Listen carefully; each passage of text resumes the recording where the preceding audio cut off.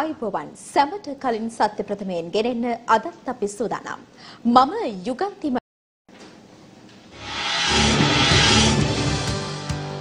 MCC ගිවිසුම අත්සන් නොකිරීමට cabinet මණ්ඩලය එකඟ වෙයි. අවසන් තීන්දුවකට ඒජාප කෘත්‍යාධිකාරී මණ්ඩලය රැස් වෙයි. වත්මන් රජය සැම විටම කටයුතු කරන්නේ මහා සංඝරත්නය උපදෙස් මත අගමැති කියයි. හකීම් සජිත් එක්ක සඳහනගත වෙයි.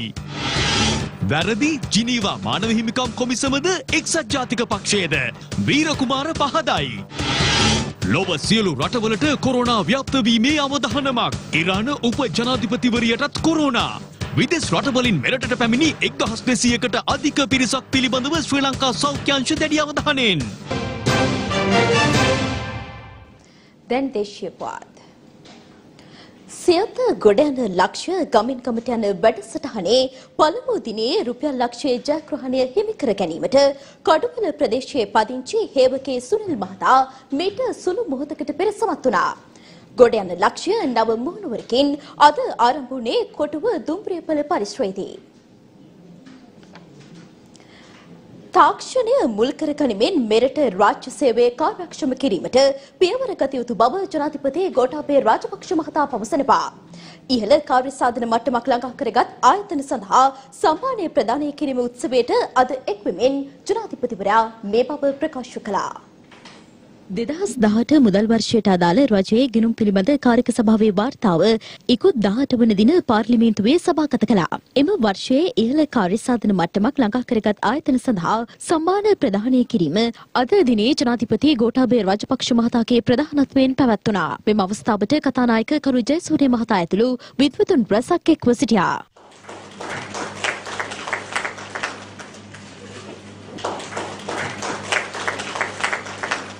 මෙහිදී දෙදහස් දහට වර්ෂයේදී ආයතන අටසිය හතලිස් හතරක් ඇගීමට ලක් වූ අතර ඉන් තෝරාගත් ආයතන එකසිය දහයක් වෙත සම්මාන ප්‍රදානය කිරීම සිදු වුණා. තාක්ෂණය මුල්ලුණු ශතවර්ෂයක් හැටියට ලෝකයේ ඉදිරියට යමින් තිබෙන අවස්ථාවක අපි රාජ්‍ය සේවය අනිවාර්යෙන්ම කඩිනමින්ම ඒ සඳහා ඉදිරියට යාමට අපි කටයුතු කරන්නට අවශ්‍යයි. දැන් අපි රාජ්‍ය සේවය රටේ ජනතාව වෙනුවෙන් තිබෙන සේවාවක් නැතුව රාජ්‍ය සේවය රැකියාවන් උත්පාදනය කරන ස්ථානයක් නෙවෙයි. රාජ්‍ය සේවය තුළ වැටුප් වැඩි කිරීම, වැටුප් විෂමතා යන හැමදාමත් ഘോഷණ සහ ඉල්ලීම් තිබෙනවා. මේ සෑම ඉල්ලීමක්ම අපිට ඉටු කරන්නට පුළුවන් වෙන්නේ අපේ රාජ්‍ය ආදායම වැඩි කරගත්තොත් පමණ කරන්නට පුළුවන් වෙන්නේ රාජ්‍ය සේවයේ කාර්යක්ෂමතාවය සහ නවීන තාක්ෂණය තුලත් කර ගැනීමෙන්. රාජ්‍ය සේවය කාර්යක්ෂම කරන්න ගත යුතු සියෑම පියවරක්ම අපි ගන්නට ඕනි. රජයේ සියලු ආයතනවල මූල්‍ය හා කාර්ය සාධන කටයුතු කාර්යක්ෂම කිරීම සඳහා පරිගණක ජාලගත ඇගීම ක්‍රමේ රුකුලක් වී තිබෙන බවට අපිට පෙනියන. තවත් වේගවත් නවීන ක්‍රමවේදයන් උපයෝගී කර ගැනීමෙන් මෙම ප්‍රමාදය අවම කළ හැකි වනු ඇතයි මම අපේක්ෂා කරනවා. රජයේ ගිණුම්කාරක සභාව මෙන්ම කෝප් කමිටුව දූෂණය සෙවීමේදී විශාල වැඩ කොටසක් කරලා තියෙනවා. ආංශික අධීක්ෂණ කාරක සභාව. අද ලෝකයේ ශක්තිමත් ප්‍රජාතන්ත්‍රවාදී සෑම රටකම අධීක්ෂණ කාරක සභාව ඉතාමත්ම ක්‍රියාත්මක වෙනවා. අති විශාල ශක්තිමත් කමිටුවක්. ඒ වගේම දැන් පාර්ලිමේන්තුවේ තියෙන උසස් නිලතල පිළිබඳ සභාවක්. අවුරුදු 40කට පස්සේ අපිට පුළුවන් වුණා පළවෙනි වතාවට මේ හමුරියන සෑම දෙනෙක්ම පරීක්ෂා කර බලන්න. ඒ වගේම ව්‍යවස්ථාදායක සභාව. ව්‍යවස්ථාදායක සභාවේ සෑම තීරණයක් 2015 මුල ඉඳලා අවසාන රැස්වීම තියෙන ගිය සතියේ සෑම තීරණයක් ගත ඒක ඒකමතිකව.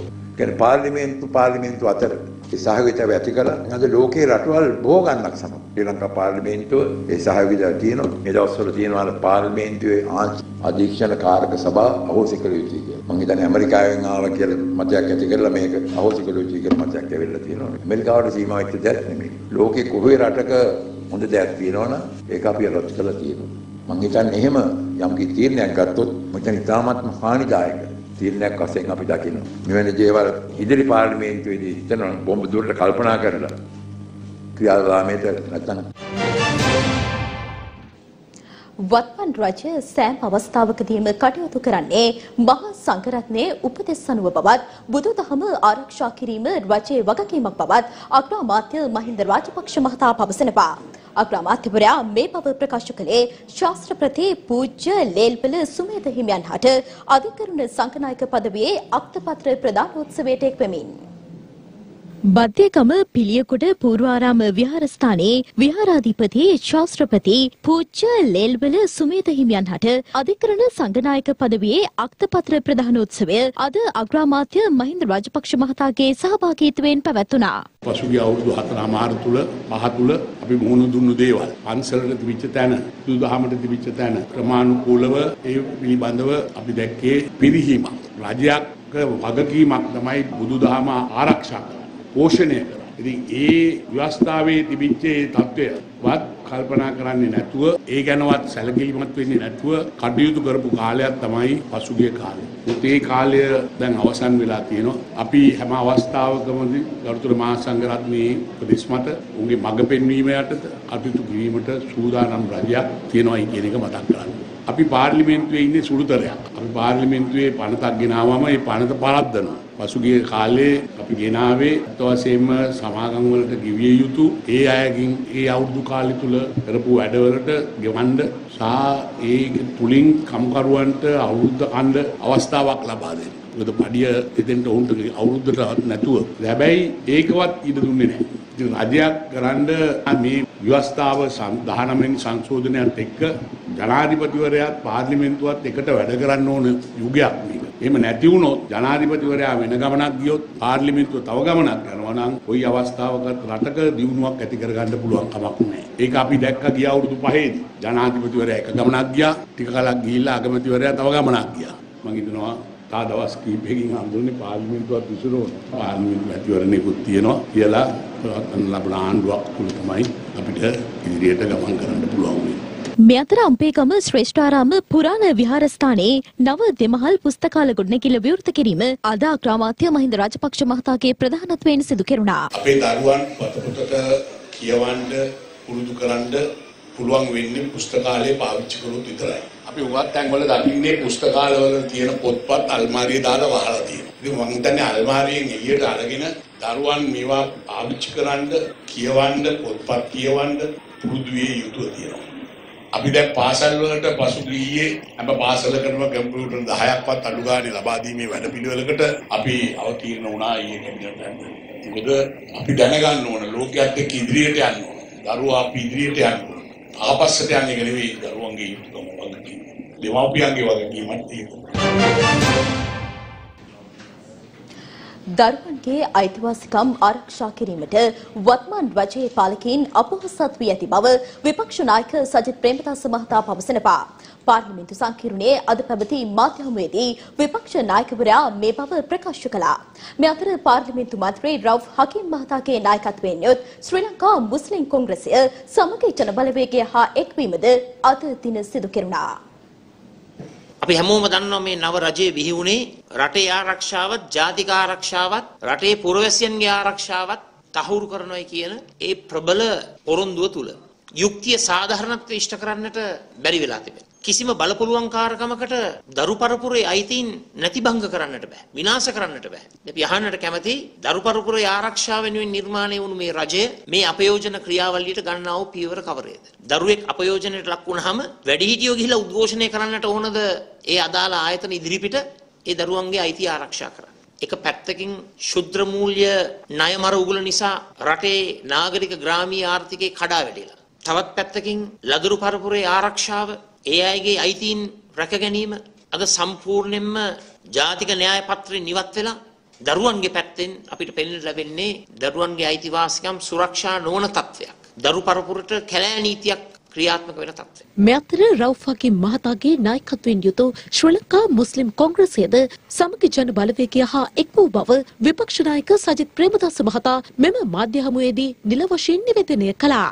සමගි ජන බලවේගය කියන අලුත් විප්ලවීය දේශපාලන ප්‍රවාහය එක්සත් ජාතික පක්ෂය ඇතුළත්ව ක්‍රියාත්මක වෙන ඒ නව දේශපාලන විප්ලවයට ශ්‍රී ලංකා මුස්ලිම් කොංග්‍රසයේ නායක රවුෆ් හකීම් මැතිතුමාගේ මූලිකත්වෙන් පක්ෂයක් හැටියට ඒ පක්ෂය අපිත් සමග එකට එකතු වෙලා සමගි ජනබලවේගය තවදුරටත් ශක්තිමත් කරන්නට එතුමන්ලා එකතු වීම අපේ ගමනට දැවැන්ත ශක්තියක් හැටියටයි අපි සලකන්නේ. අද දින අපි ඊටාම සතුටු වෙනවා සමගි ජන බලවේගය කියන මේ ප්‍රවාහයට සජිත් ප්‍රේමදාස මැතිතුමන්ගේ නායකත්වයෙන් යුතුව මේ රටේ ප්‍රධානයෙන් මුස්ලිම් ජනයා නියෝජනය කරපු වැදගත් පක්ෂයක් හැටියට අපේ මන්ත්‍රී කණ්ඩායමේ සෙසු මන්ත්‍රීවරුන් එක්ක එන මහමැතිවරණයට එළඹීම සඳහා අපි ගිවිසුම් ගතව එකතු වෙනවා. මේක සැබෑ සමගිය ඇති කරන මේ රටේ ජාතීන් අතර ඇති කරගත්ත සන්ධානයක් විතරක් නොව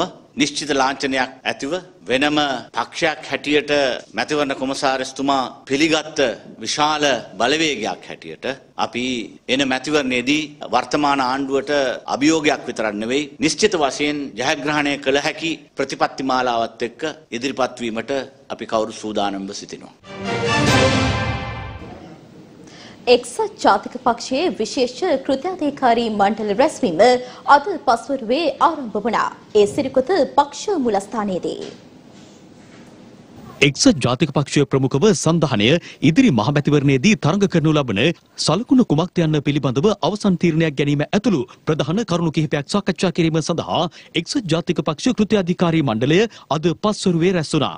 අද පස්වර තුනයි තිහට පමණ ආරම්භ වූ කෘත්‍යාධිකාරී මණ්ඩල රැස්වීමට එක්සත් ජාතික පක්ෂ නායක හිටපු අග්‍රාමාත්‍ය රනිල් වික්‍රමසිංහ මහතා විපක්ෂ නායක සජිත් ප්‍රේමදාස මහතා සහ කෘත්‍යාධිකාරී මණ්ඩල සමාජිකින් සහභාගී වුණා. රැස්වීමට සහභාගී වීමට පෙර පාර්ලිමේන්තු මන්ත්‍රී පාලිත රංගේ බණ්ඩාර මහතා ප්‍රකාශ කර සිටියේ සලකුණ පිළිබඳ අවසන් තීරණයක් අද දවසේ අනිවාර්යෙන්ම ගන්නා බවයි. පවතින ගැටලුකාරී තත්ත්වය සාකච්ඡා මාර්ගයෙන් විසඳා ගැනීමට කටයුතු කරන බවද පාර්ලිමේන්තු මන්ත්‍රී පාලිත රංගේ බණ්ඩාර මහතා වැඩිදුරටත් මාධ්‍ය හමුවේ ප්‍රකාශ කළා. ඉදිරි මහ මැතිවරණයට අලියා සලකුණෙන් තරඟ කරන්නේද හංසයාගේ සලකුණෙන් තරඟ කරන්නේද එසෙත් නොමැතිනම් හදවත සලකුණින් හෝ වෙන යම් සලකුණකින් තරඟ කරන්නේද යන්න පිළිබඳව අද දින අවසන් තීරණයකට එළඹීමට නියමිතව තිබෙනවා. වෙනවා. මැතිවරණ කොමිසමේ සභාපතිවරයා සහ මැතිවරණ කොමිසම අවස්ථා කිහිපයකදී හමු වේ. පවතින නෛතිකමය තත්ත්වයන් සහ සලකුණක් භාවිතා කිරීමේදී ගත යුතු ක්‍රියාමාර්ග මෙන්ම සන්ධානගත වී මැතිවරණයකට ඉදිරිපත් වීමේදී පවතින නීතිමය තත්ත්වයන් පිළිබඳව පසුගිය දින කිහිපය තුළ එක්සත් ජාතික පක්ෂ ප්‍රබලයින් දීර්ඝ වශයෙන් සාකච්ඡා කර තිබුණා. සජිත් ප්‍රේමදාස මහතාගේ නායකත්වය යටතේ ගොඩනගා ඇති සමගි ජනබලවේගයට මේ වන විට එක්සත් ජාතික පක්ෂ සන්ධානය සමග එක්ව සිටි පක්ෂ රැසක් සිය සහය පළ කර තිබෙනවා. එක්සත් ජාතික පක්ෂයේ සලකුණ ලෙස හංසයා පිළිගැනීමට සූදානම් බවත් එය නීත්‍යානුකූලව සිදුවිය යුතු බවත් එක්සත් ජාතික පක්ෂ පාර්ලිමේන්තු මන්ත්‍රී ලක්ෂ්මන් කිරුවැල්ල මහතා පවසනවා. ඒ මහනුවර ප්‍රදේශයේදී මාධ්‍ය අදහස් දක්වමින් උත්‍යාධාරය මණ්ඩලය පැහැදිලිව කිව්වා සජිත් තමයි සන්ධානයේ නායකයා. අපි හංසයා පිළිගන්නත් සූදානම්. ඒක ඉතින් නිත්‍යානුකූලව කරන්න ඕන. අපි පිළිගත්තට ඒගොල්ලෝ පිළිගත්තට මදි. ඒක නිත්‍යානුකූලව කරන්න ඕන. මොකද ජනතාවට දැනලා තියෙන දැන්. ඉඟුරු දීලා මිරිස් ගත්තා වගේ වැඩක් සාර නෑනේ. අපි දැක්කා හිටපු ජනාධිපතිතුමා දැන් වර්තමාන අගමැතිතුමන් සමග උත්සවවලට සහභාගී වෙනවා. ඒක තෝරා ගැනීමදී යම් කිසි වැරද්දක් වුණාද? වැරද්දක් වුණා කියන්නේ ඉතින් ඒ අපිපත් කරපු ජනාධිපතිතුමා අපි වස් කෙරුවානේ. කළා මහින්ද අගමැති කෙරුවා. ඒකෙම කුමන්ත්‍රණය පේනවනේ. අයි තමුතුෙන් කියන්න ඕනේ. ඒකෙම කුමන්ත්‍රණය කුමන්ත්‍රණය දිගටම තිබ්බා. ඒ කියන්නේ 2015 වැරදීමක් වුණාද? එක්සත් ජාතික පක්ෂයේ පුද්ගලයා තෝරා ගැනීමේදී. නෑ එහෙම වැරදීමක් වුණා කියලා හිතන්න බෑ. ඒ ඒ ඒ කාලය අනුව 2015 තිබ්බ වාතාවරණය අනුව ගත තීරණයක් ඒක. ශ්‍රී ලංකා නිදහස් පොදුජන සඳහනය ඉදිරි මහමැතිවරණයෙන් අති විශිෂ්ට ජයග්‍රහණයක් ලබන බව හිටපු ජනාධිපති මෛත්‍රීපාල සිරිසේන මහතා පවසනවා. ඒ මහතා මේ බව ප්‍රකාශ කළේ ගම්පහ පහළයාකුට වෘතිය පුහුණු මධ්‍යස්ථානය විවෘත කිරීමෙන් අනතුරුව මාධ්‍යට අදහස් දක්වමින්. වෘත්තීය අධ්‍යාපනය කියන එක රටකට ඉතාමත් වැදගත් ලෝකයේ සංවර්ධනය වෙච්ච දියුණු වෙච්ච රටවල් සියල්ලම විශේෂයෙන්ම නවෝත්පාදන ආර්ථිකත් එක්ක වෘත්තීය අධ්‍යාපනයෙන් තමයි ගොඩනගෙන. ඒක නිසා රටක අනාගතයට ප්‍රධාන වශයෙන්ම අවශ්‍ය දෙයක් වෘත්තීය අධ්‍යාපනය. ඒක නිසා අපි සාමාන්‍යයෙන් අපේ තරුණ පිරිස් ගත්තාම දැන් අපොස සාමාන්‍ය පෙළ උසස් පෙළ එහෙම නැත්නම් උපාධිය සමත් වෙනවා. නමුත් වෘත්තීය පුහුණුව කියන එක ඒ අයට නැහැ. ඒ නිසා රැකියා හිගය ඇති වෙන්නේ තේ නිසායි. රැකියා හිගයට ඉතාමත් ඉතාමත්ම වැදගත් දෙයක් තමයි වෘත්තීය අධ්‍යාපනය. නව රජය යටතේත් මේ වැඩ කටයුතු වැඩි දියුණු කරනවා. ඒකට මගේ සම්පූර්ණ සහයෝගය රජයට මම ලබා දෙනවා. ඔය ඉතින් මම දැන් කියලා දිනවනේ අපි මැතිවරණයකට එකතු වෙලානේ කරන්නේ. ශ්‍රී ලංකා නිදහස් පොදු ජන සන්ධානය හැදුවා. ඒ තුල අපි මැතිවරණ ව්‍යාපාරය කරනවා. අපිට විශිෂ්ට ජයග්‍රහණයක් ලබා ගන්න පුළුවන් කියලා මම විශ්වාස කරනවා. ගෝඨාභය රාජපක්ෂ ජනාධිපතිගේ ඒකත්වයේ තුල අපි මේ මැතිවරණ ව්‍යාපාරය කරන්නේ. වත්මන් රජය මැතිවරණයට පෙර රැකියා ලක්ෂයක් ලබා දෙන බවට ජනතාවට දුන් පොරොන්දු මුසාවක් බවට පත්ව ඇති බව පාර්ලිමේන්තු මන්ත්‍රී නලින් බණ්ඩාර මහතා පවසනවා. එයද කොළඹ පැවති මාධ්‍ය හමුවකදී. මාර්තු මාසේ පළවෙනිදා දෙවෙනිදා විසිරනවා කිව්වට එහෙම විසිරවන්න ඒ නෛතික බලය හම්බ වෙනවා මිසක් තව මාස 6ක් ආණ්ඩුව ඉස්සරහට අරගෙන යන්න පුළුවන් ඒගොල්ලන්ට. ඒ රැකියා ටික දීලා මැතිවරණයකට යන්න. ඒගොල්ලන්ට තුනෙන් දෙකක් ඕනයි කියලානේ කියන්නේ. මම අභියෝග කරනවා රැකියා ලක්ෂයක් නෙමෙයි.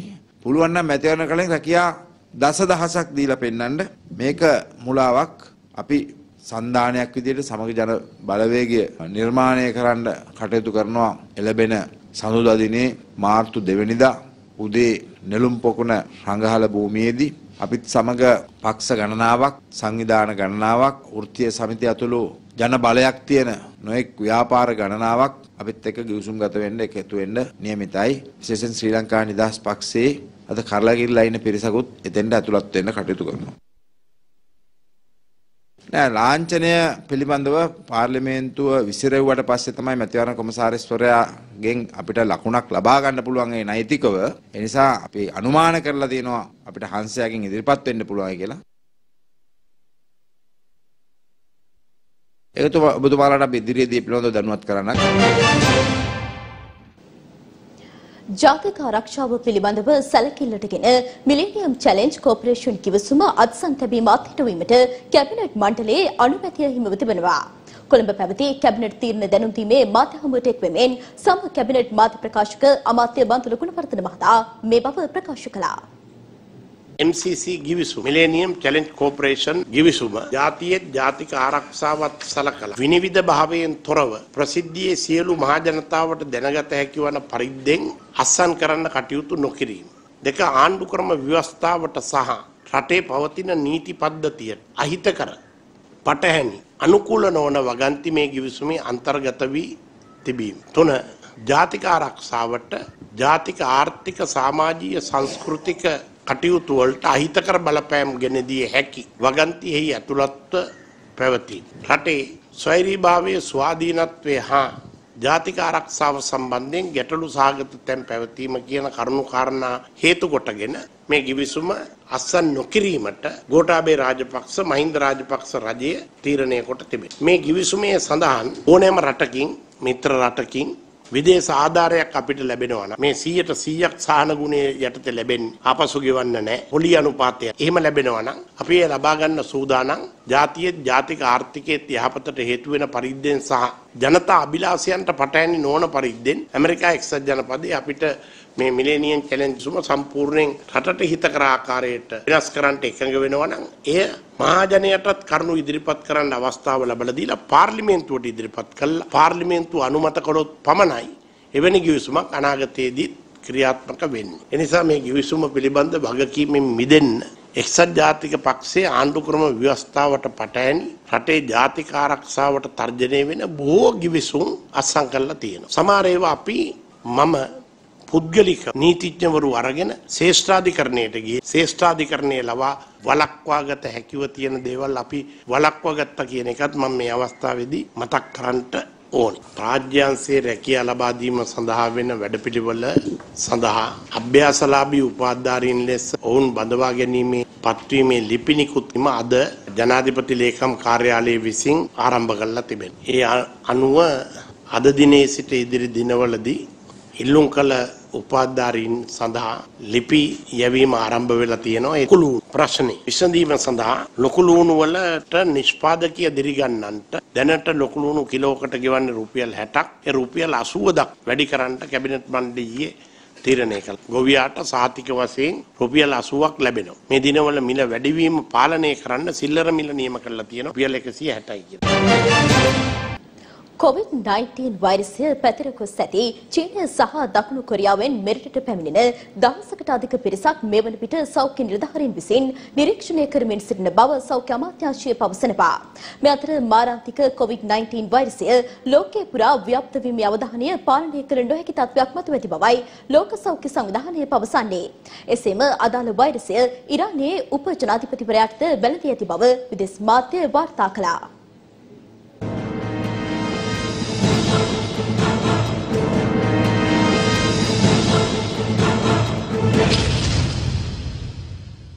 ලොව පුරා පැතිරයමින් පවතින COVID-19 වෛරසය මේ වනතෙක් ශ්‍රී ලංකාවට බලපෑමක් එල්ල නොකළත් ඒ සම්බන්ධයෙන් මෙරට සෞඛ්‍ය අංශ විශේෂ අවධානයක් යොමු කර තිබෙනවා. ඒ අනුව චීනෙන් හා දකුණු කොරියාවෙන් මේ දක්වා දෙස් විදෙස් සංචාරකින් එක්දස් දෙසියක් පමණ මෙරට පැමිණ ඇති බවයි සෞඛ්‍ය අමාත්‍යංශය පවසන්නේ. ඔවුන් මෙරට පැමිණි පසු ඔවුන් රැඳී සිටින සෞඛ්‍ය වෛද්‍ය නිලධාරී කොට්ටාශවල මහජන සෞඛ්‍ය පරීක්ෂකවරුන් මාර්ගයෙන් මෙම පරීක්ෂා කිරීම සිදු කරන බවයි වසංගත රෝග පිළිබඳ විශේෂඥ වෛද්‍ය සමිත ගිනිගේ මහතා සියත අප කළ විමසීමකදී සඳහන් කළේ. ඔවුන්ට මෙම රෝග ලක්ෂණ පහළ වුවහොත් කඩිනමින් ප්‍රතිකාර ලබා දී දිනදා හතරක කාලයක් නිරෝධායන කටයුතු සිදු කිරීමට නියමිතයි. මේ අතර COVID-19 වෛරසය ආසාදනය වී ඇති බවට සැකසහිත රෝගීන් තිදෙනෙකු මේ වන විට ජාතික බෝවන රෝග විද්‍යායතන හෙවත් ITH රෝහලේ ප්‍රතිකාර ලබනවා. අදාළ වෛරසය ආසාදනය වීමෙන් ලොව පුරා ජීවිතක්ෂයට පත් පුද්ගලයන් සංඛ්‍යාව දෙදහස් අටසිය හැට දක්වා ඉහළ ගොස් තිබෙනවා. වෛරසය ආසාදීන් සංඛ්‍යාව අසූ තුන්දාස් හත්සිය හතලිස් හතක් බවයි විදෙස් මාධ්‍ය වාර්තාව පසන්නේ. ලෝකයේ තුළ පවතින තත්ත්වය හමුවේ වෛරසයේ ව්‍යාප්තිය තීරණාත්මක අවස්ථාවකට පැමිණ ඇති බව ලෝක සෞඛ්‍ය සංවිධානයේ ප්‍රධානී ටෙඩ්රොස් ඇඩනම් පවසනවා. ඔහු වැඩිදුරටත් අවධාරණය කර සිටින්නේ ධනවත් රටවල් වුවද මෙම වෛරසයේ අනපේක්ෂිත පැතිරීමකට මුහුණ දීම සඳහා සූදානම් විය යුතු බවයි. වෛරසයේ නිජ භූමිය වූ චීනෙන් පිටත වැඩිම ආසාදිතින් සංඛ්‍යාවක් වාර්තා වන්නේ දකුණු කොරියාවෙන්. ඒ අනුව අදාළ වෛරසය ආසාදනය වීමෙන් දකුණු කොරියාවේ පුද්ගල මරණ 13ක් වාර්තා වන අතර වෛරසය ආසාදනය වූ පුද්ගලින් සංඛ්‍යාව 1766ක් බවයි එරට සෞඛ්‍ය අංශ අවධාරණය කර සිටින්නේ. ජපානයේද COVID-19 වෛරසය ආසාදනය වූ ගණන නමසේ ඉක්මවන අතර අදාළ වෛරසය ආසාදනය වී සුවය ලැබූ කාන්තාවකට යළිත් එම වෛරසය ආසාදනය වීමේ පුවතක් ජපානයේ ඔසාකා නගරෙන් වාර්තා වනවා. රට තුළ පවතින තත්ත්වය හමුවේ එරට සියලුම් පාසල් අප්‍රේල් මාසය වනතෙක් වසා දෙවීමටයි එරට අග්‍රාමාත්‍ය සිංචෝ අබේ පියපරගෙන ඇත්තේ. ඉතාලියේද මෙම වෛරස් තත්ත්වය හේතුවෙන් මරණ 17ක් වාර්තා වන අතර එරට සමස්ත ආසාදින් සංඛ්‍යාව 650ක්. ඉතාලි ජනජීවිතයටද මෙම වෛරසය බලපෑම් කිරීමත් සමග එරට පාසල් වසා දැමීමට මෙන්ම ප්‍රධාන පෙළේ පාපන්දු තනක ඇතුළු ජනතාව ගැවසෙන උත්සව අවලංගු කිරීමටද බලධාරීන් කටයුතු කර තිබෙනවා. මෙහි ප්‍රධානතම ගැටලුව එල්ල වී ඇත්තේ පිළිකා හෘද හා වකුගඩු ආශ්‍රිත රෝග සඳහා ප්‍රතිකාර ලබන රෝගීන්ටයි. ඉතාලියේ මිලානෝ නුවර ප්‍රධාන පෙළේ රෝහල් තුනක මෙම රෝග සඳහා ප්‍රතිකාර සිදු කරනු ලබන අතර ඉතාලිය තුළ පවතින තත්ත්වය හමුවේ එම රෝහල්වල ප්‍රතිකාර කටයුතු සිදු නොකිරීමටයි එරට බලධාරීන් කටයුතු කර ඇත්තේ.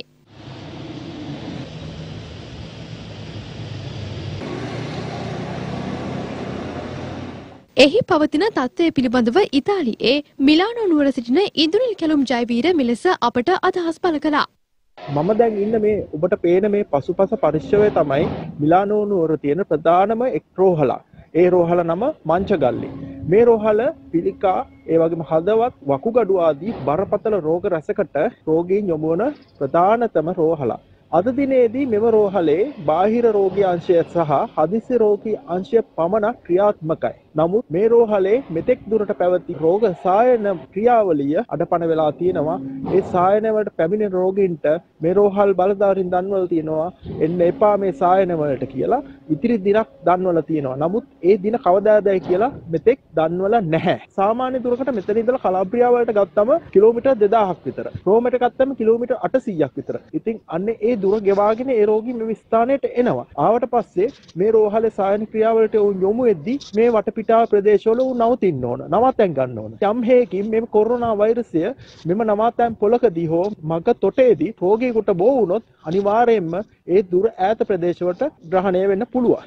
අන්නේ හේතුව නිසා තමයි මෙම රෝහල්ලේ රෝගීන්ගේ සායන ක්‍රියාවලිය නවතා දමා තිබෙන්නේ. මේ ඉතාලි වැසියන් දැඩි දුෂ්කරතාවයකට පත් වෙලා තියෙනවා මෙම කටයුතු නිසා. අද තත්ත්වය මේ ඉතාලියේ මිලානෝ නුවර. ඉන්දුනිල් කැලුම් ඉතාලියේ මිලානෝ නුවර සිට. ස්තුතියි. මේ අතර ඉරානයේ උපජනාධිපතිවරයක් වන එප්ටෙක හට මෙම වෛරස් තත්ත්වය ආසාදනය වී ඇති බව විදෙස් මාධ්‍ය වාර්තා කරනවා. මෙම වෛරසය ආසාදනය වීමෙන් ඉරානය තුළ මරණ විසි හයක් වාර්තා වන අතර එරට සමස්ත ආසාදිතින් සංඛ්‍යාව දෙසිය හතුලිස් පහ. මේ අතර ශුද්ධෝත්තම ෆ්‍රැන්සිස් පාප් වහන්සේද රෝමයේ අද සැලසුම් කර තිබූ දේව මෙහයන් අවලංගු කර ඇති අතර වතිකානුව නිවේදනය කළේ අසූ දෙහැවරදි පාප් වහන්සේ සුළු කායික අපහසුතාවයකට ලක්ව සිටින අතර උන්වහන්සේ වතිකානුපුරපුරේ තවදුරටත් රැඳී සිටින බවයි. අලු බදාදා දිනේ වතිකානුව පැවති දේව මෙහෙකදී පාප් වහන්සේ බැතිමතුන්ට අතිනතදී ආශිර්වාද කළ අතර ඉන් අනතුරු උන්වහන්සේ යම් අසනීප තත්වයකට බඳුන් වී ඇති බවයි විදෙස් මාධ්‍ය වාර්තා කරන්නේ. පවතින තත්ත්වය හමුවේ අදාළ වෛරසය පිළිබඳව සුබදායි පණිවිඩයක් ලෝකෙට ලබා දීමට ඊශ්‍රාලයේ විද්‍යාඥයින් පිරිසක් සමත්ව තිබෙනවා. ඊට අදාළ ඖෂධයක් නිපදවීම සඳහා පරීක්ෂණ සිදු කරන අතර ඉන් දින 90ක් ඇතුළත ධනාත්මක ප්‍රතිඵලයක් ලබා ගැනීමට හැකිවන බවයි ඔවුන් පවසන්නේ. ඒ අනුව අදාළ විද්‍යාඥයින් පවසන්නේ කුකුල් මස් හරහා නිපදවන එන්නතක් තුළින් අදාළ වෛරසයට එරෙහි ප්‍රතිකාර සඳහා වන ඖෂධ නිෂ්පාදනය කරමින් සිටින බවයි. ජනතාවට සහන ලබා දීමට තිබූ වැඩපිළිවෙල අක්‍රිය කිරීමට කටයුතු කළේ විපක්ෂ බව රාජ්‍ය අමාත්‍ය කණික හේරත් මහතා පවසනවා. කොළඹදී මාධ්‍ය හමුවක් ඇඳවමින් රාජ්‍ය අමාත්‍යවරයා මේ බව ප්‍රකාශ කළා. ඊයේ දිනේ වෙනකොට විපක්ෂ නායකතුමා මේ රජයට චෝදනා කරනවා ඇඟිල්ල දික් කරනවා අද වෙනකොට ජනතාව බඩගින්න ඉන්නේ කියලා කියනවා.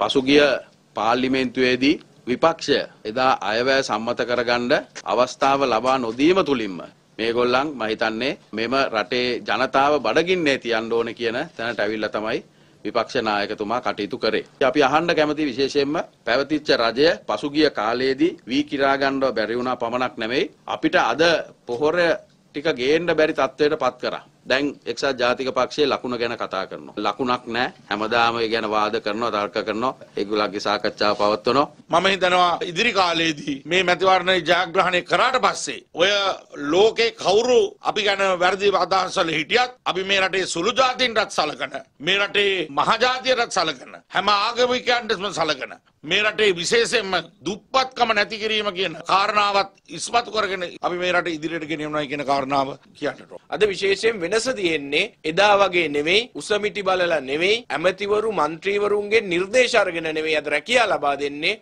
අද ඉතාමත් විනිවිද භාවයෙන් යුක්තව තමයි අද රැකියා ලබා දීම කරන්නේ. පසුගිය ආණ්ඩුව දිගින් දිගටම මේ රට විනාශ කරන්න රටට එරෙහිව රටට විරුද්ධව තමයි කුමන්ත්‍රණ කරේ.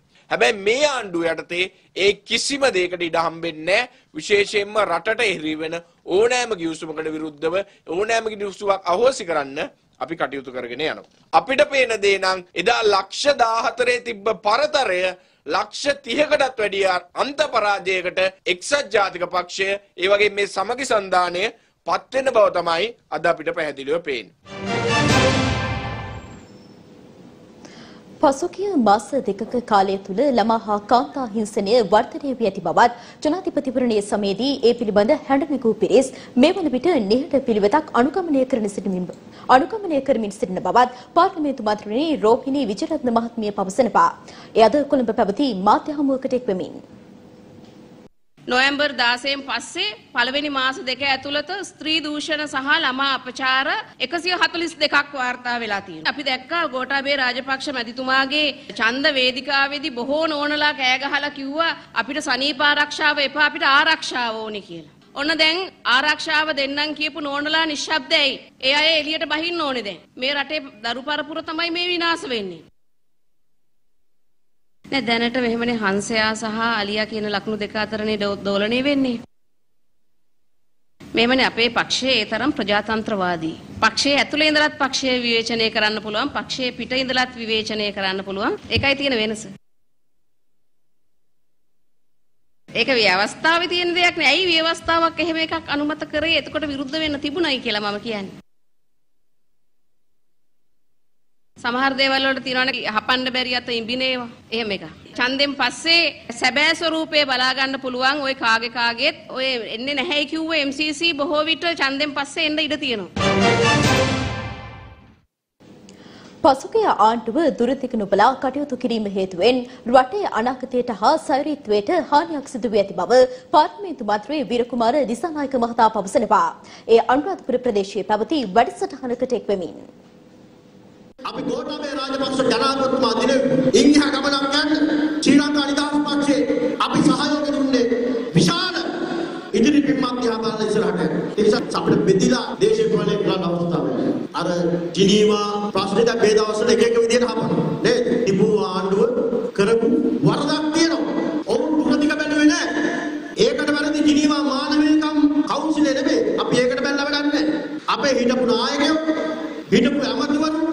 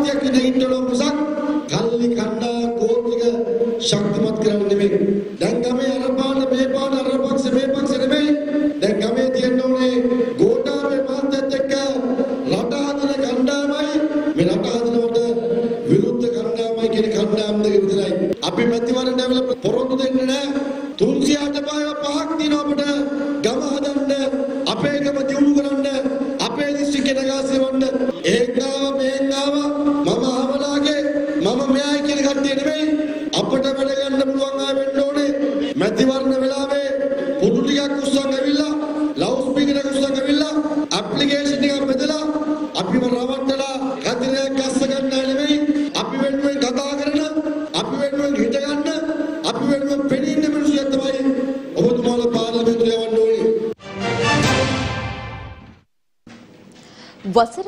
60කට අධික කාලයක් සිට පැවති රාජ්‍ය සේවක ගැටලු निराකරණය කිරීමට අධ්‍යාපන හා මානව සම්පත් සංවර්ධනය පිළිබඳ ආර්ථික අධීක්ෂණ කාර්ක සභාවට හැකි වූ බව එහි සමාජිකයන් පවසනවා. යද කොළඹ පැවති මාධ්‍ය හමුවකට එක්වමින්. විශේෂ මානසික කාරක සභාව විදිහට මේ අධ්‍යාපන ශේෂ්ත්‍රයේ දශක ගණනාවක් තිස්සේ ඒ ආපු වෘත්තිමය ප්‍රශ්න ගණනාවකට විසඳුම් ලබා දීමට හැකියවීම පිළිබඳව අපි ඉතාමත් සතුටු වෙනවා. ඒ අනුව වර්තමාන අධ්‍යාපන අමාත්‍ය දඩසලහ පෙරම අමාත්‍යතුමා ඇතුළු අධ්‍යාපන අමාත්‍යාංශයට අපි ඉල්ලීමක් කරන අපට කෙරෙහි විශ්වාසය තිබෙනවා. මේ කාරක සභාව මගින් ඉදිරිපත් වුණු යෝජනා කඩිනමින් ක්‍රියාත්මක කරලා මේ සෑම වෘත්තියකම වෘත්තියකම පවතින ඒ ප්‍රශ්න ගැටලු වෙනුවෙන් ස්ථිරසාර විසඳුම් ලබා දීලා දරුවන්ගේ අධ්‍යාපන ක්‍රියාවලිය වෙනුවෙන් හොඳ මානව සම්පතක් මේ රට තුළ ස්ථාපිත කිරීමේ කාර්යයට දායක වෙන්නයි කියන ඉල්ලීම කරමින් අධ්‍යාපන සේවයේ තිබුණ ප්‍රශ්න හතරක් අපිට අද විසඳන්න ලැබුණා. විශේෂයෙන් අධ්‍යාපන පරිපාලන සේවයේ වැටුප් විෂමතාව අවුරුදු 10ක් නොවිසඳුන ප්‍රශ්නයක්. ගුරු උපදේශක සේවය ඇති කිරීම මේක අවුරුදු 62ක් තිස්සේ කෙරුණ සටනක් ඊළඟට නොවිධිමත් අධ්‍යාපන ව්‍යාපෘත නිලධාරීන් අන්තර්ග්‍රහණය කිරීම මේක අවුරුදු 25ක් පුරාවට නොවිසඳුන ප්‍රශ්නයක්. හතරවෙනි කාරණේ හැටියට විදුහල්පති සේවය අධිසේවා විදුහල්පතිවරුන් ස්ථිර නොකිරීම හා උසස් වීම ලබා නොදීම පිළිබඳ ප්‍රශ්නේ අවුරුදු 18ක ගැටලුවක්. මේ කාරණා සියල්ලම අද අපිට විසඳන්න ලැබුණා. මේ පාර්ලිමේන්තුව ගැන තිබෙන ඉතාම නරක චිත්‍රයක්. මොකද මේ ආංශික කාර්ක සභා හරහා අපි මේ අවුරුදු 60 70 ගානක තියෙන ප්‍රශ්න විසඳුවා කියන සාකච්ඡාව එළිය ඇති වෙනවා වෙනුවට සාකච්ඡාව තිබෙන්නේ පාර්ලිමේන්තුවේ මිරිස් කුඩු ගහපු එක ගැන, කතානායක පුටු උස්සගෙන ගියෙක් ගැන, කතානායක පුටුට වතුර දාපු එක ගැන. ඒවා පාර්ලිමේන්තුවේ සිදු වුණා තමයි. ඒවට සම්බන්ධ පිරිසකුත් ඉන්නවා. නමුත් ඒ අය සම්බන්ධ නොවිච්ච විශාල කාර්යභාරයක් මේ කාර්ක සභා කාමරය ඇතුළතදී පාර්ලිමේන්තු මන්ත්‍රීවරුන් විසින් ඉෂ්ට කළා. ප්‍රශ්න වලට විසඳුමක් නැහැ කියන එක මම පිළිගන්නේ නැහැ. එහෙමනම් ඒක ප්‍රශ්නයක් වෙන්න බෑ. ඒ නිසා මේ ප්‍රශ්න වලට විසඳුම් ලබා දෙන්න පුළුවන් පැහැදිලි වැඩ පිළිවෙලක් මේ රටේ පාර්ලිමේන්තුව තුල තියෙනවයි කියන එක ඉතාමත් පැහැදිලිව යථාර්ථයක් බවට පත් කරපු වෙලාවේ මෙය මේ රටේ සියලුම ජනතාව ඇත්ත වශයෙන්ම දැනුවත් විය යුතු මෙවැනි ඊ타මත්ම අකාරුණික තත්ත්වයන්ට පත්වෙච්ච අහිංසක සේවක රාජ්‍ය සේවයේ නියුක්ත නිලධාරීන් ගුරුවරුන් විවිධ අය තවමත් තමන්ගේ ප්‍රශ්න මං හිතන්නේ විශාල වශයෙන් ලිපිගොනු සහ විවිධ කරුණුකාරා ඒකරාශි කරමින් ඒක හමස් පෙට්ටියට දාලා ඉන්න අයට නැවත වරක් ඉසවසවලා මේ තත්ත්වයෙන් Tamanට මිදෙන්නට අවස්ථාවක් උදා කරගන්න නවවෙනි පාර්ලිමේන්තුවේදී මේ ආංශික කාර්ය සභා ක්‍රමයේ ශක්තිමත් වෙලා ඒ තුලින් මේ රටේ ජනතාවට පාර්ලිමේන්තු ක්‍රමයේ තුලින් ඒ වගේම මේ රටේ සදාතනික මම හිතන්නේ සේවාවක් හැටියට පවතිවායි කියලා මම ප්‍රාර්ථනා කරනවා. සජිත් ප්‍රේමදාස මහතාගේ නායකත්වය යටතේ සමගි ජනබලවේගයෙන් ඉදිරි මහමැතිවරණයට නිසකෙන්ම ඉදිරිපත් වන බව පාර්ලිමේන්තු මන්ත්‍රී මනුෂ්‍ය නානායක්කාර මහතා පවසනවා. ඒ ගාල්ල ප්‍රදේශයේ පැවති මාධ්‍ය හමුවකට එක්වෙමින්. මාලිමාව ජනතා විමුක්ති පෙරමුණ පහුගිය මැ- ජනාධිපතිවරණට ඉල්ලද්දී ලකුණ අත්හැරීම සිද්ධ කරයින් පස්සේ තවත් පාර්ශවයක් ඇවිල්ලා නිකම් මේක දේශපාලනයේ නරක පූර්වදර්ශයක් විදිහට අපිටත් ඒ ලකුණ ඕන කියලා ඉල්ලීම් සිද්ධ කරපු අවස්ථා තිබුණා. ඒ අවස්ථාවේදී අකාසිය අකුඩ දැමීමෙන් තමයි ජනතා විමුක්ති පෙරමුණට අනුර කුමාර දිසානායක මහත්තයාට මාලිමාව හම්බෙන්නේ. ඉතින් ඒ වගේ මේ පාර්ලිමේන්තුව විසිරුවා හැරීමෙන් පස්සේ ඒ ලකුණු අත්හැරීම සිදු කර යුතුයි තවත් පක්ෂයකට ලබා දීම සඳහා. ඉතින් මෙතනදී ඒ අවශ්‍ය කරන කණ්ඩායම් යම් යම් එකඟතාවයන් ඇතිව මේ කටයුත්ත සිද්ධ කරන්න ඕන. කොහොම වුණත් මේ වෙලාවේ පොහොට්ටුවටත් මේ ප්‍රශ්නේ බලපානවා. පොහොට්ටුවටත් තමන්ගේ පොහොට්ටුව ලකුණ මොකද්ද? ලකුණ මො- මොන ලකුණටද යන්නේ කියන කාරණාව පොහොට්ටුව අතහැරීම සන්දානයට ලබා ගැනීම කියන කාරණාවේදී මේ අභියෝගයට මුහුණ දෙන්න තියෙනවා. කවුරු හරි ඇවිල්ලා පොහොට්ටුව ඉල්ලුවත් ප්‍රශ්නයක් තියෙනවා. කාසි උඩ දාන්න වෙනවා. ඒ වගේම තමයි අපටත් මේ ප්‍රශ්නේ බලපානවා. ඒ නිසා අපි සෝදානමින් ඉන්නවා අවශ්‍ය වෙලාවට සමගි ජනබලවේගයෙන් තමයි අපි තරඟ කරන්නේ. කවුරු හරි කියනවා නම් නෑ පුරුදු විදියටම තරඟ කරන්නේ පරණ නායකයෝ යටතේ කියලා ඒක වැරදි. මෙන්න දැන් ලැබුණු පුවතක්. අද පස්වරුවේ ආරම්භ වූ එක්සත් ජාතික පක්ෂ කෘත්‍යාධිකාරී මණ්ඩල රැස්වීම මේ වන විට අවසන් වී තිබෙනවා. සාකච්ඡා සාර්ථක බව මන්ත්‍රීවරුන් පිරිසක් ප්‍රකාශ කළ අතර මන්ත්‍රී හර්ෂද සිල්වා මහතා දැඩි කලකිරීමෙන් මාධ්‍ය වෙත අදහස් පළ කළා. මේ අතර සලකුණ පිළිබඳව අවසන් තීරණය ලබන ඉරිදා කෘත්‍යාධිකාරී මණ්ඩලය යලි රැස්වී ගන්නා බවයි පාර්ලිමේන්තු මන්ත්‍රී පාලිත රංගේ බණ්ඩාර මහතා ප්‍රකාශ කළේ. වත්මන් රජය රණවිරුවන් පාවා දීමට කිසිවිටකත් කටයුතු නොකරන බව රාජ්‍ය අමාත්‍ය රෝහිත අබේගුණවර්ධන මහතා පවසනවා. ඒ පාටදුර ප්‍රදේශයේදී මාධ්‍ය වෙත අදහස් පළ කරමින්. බොහොම පැහැදිලිව ගෝඨාභය රාජපක්ෂ ජනාධිපතිතුමාගේ අපේ රජය අපේ ස්ථාවරය කොන්දකලින් තියම් ප්‍රකාශ කරනවා. අපි දන්නවා පහුගිය යහපාලන ආණ්ඩුව ජිනීවා කොමිසමට ගිහිල්ලා එකක් කියනවා මේ රටට ඇවිල්ලා එකක් කියනවා. අපේ යුතුයකමක් සහ වගකීමක් කරනවා මේ රටේ ත්‍රිවිධ හමුදාව සහ පොලිසියේ සහ සිවිල් ආරක්ෂක බලකාය රණවිරුවෝ මේ වන විට ආබාධිතයන් වෙලා දහස් ගණන් ජීවිත අපිට අහිමි වුණේ මේ යුද්ධය නිසා. එතකොට ඒ රණවිරුවන්ව දංගෙඩියට දෙන්න කිසිසේත්ම අපේ රජය කටයුතු කරන්නේ නැහැ. ඒ නිසා තමයි දිනේශ් ගුණවර්ධන විදේශ කටයුතු ඇමතිවරයා රජයේ ස්ථාවරය බොහොම පැහැදිලිව කිව්වේ. අපි දැක්කා ඒ අවස්ථාවේදී ප්‍රතිචාර දක්වමින් කොමසාරිස්තුමියගේ කැස- කතාව අපි දැක්කා. හැබැයි කොමසාරිස්තුමියට රිදිලා තියෙන බව අපිට තේරෙනවා. මොකද රිදෙන්නේ ඒ අයට ඕන කරලා තිබුණේ අර පහුගිය වගේ පතෝල ආණ්ඩුවක්. පතෝල ආණ්ඩු පතෝල නායකයෝ ඉන්නකොට ජාත්‍යන්තරික විදිහට නටනවා. ජාත්‍යන්තරික විදිහට නටන්න විදියක් නැහැ. දැන් මානව හිමිකම් උල්ලංඝනය නොවෙන්නේ යුද්ධය අවසන් වෙච්ච නිසා. දැන් අපේ රටේ මානව හිමිකම් කඩ වෙන්නේ නැහැ. හැබැයි ඒ නිසා බොහොම පැහැදිලිව අපි රජයේ ස්ථාවරය තමයි අපි ස්වාධීන රාජ්‍යයක් හැටියට කටයුතු කිරීම. ඒත් සමගින් අපගේ ප්‍රධාන ප්‍රවෘත්ති විකාශය මින් නිමාවට පත්වනවා. දවසුන් සුම් කරන තවත් පුවත් දැනගන්න එක්වන www.silvernews.lk අපගේ වෙබ් පිටුවට. යලිතම රාත්‍රී 9:35ට සුබ සන්ධ්‍යාවක්.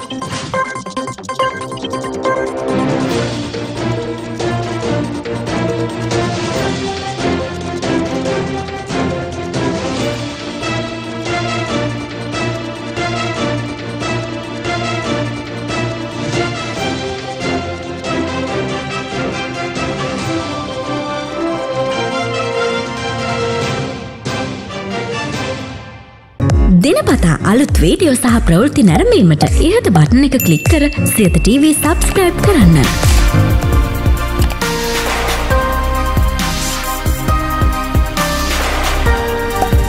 අලුත් වීඩියෝ ගැන මුලින්ම දැනගන්න මෙම සීනුව ක්ලික් කරන්න.